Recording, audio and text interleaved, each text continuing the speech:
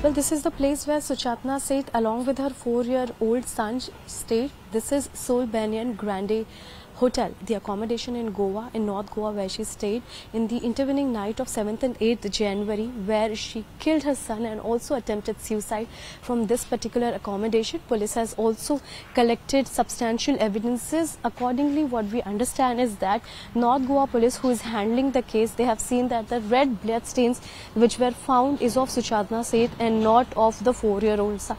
Here we know for the fact that the investigation is underway, but the motive has not been ascertained yet.